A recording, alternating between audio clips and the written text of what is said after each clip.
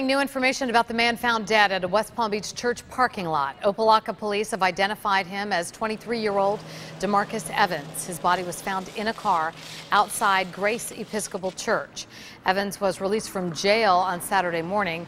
Police say he raped the mother of his child, then fatally shot her twin sister at their home early yesterday morning.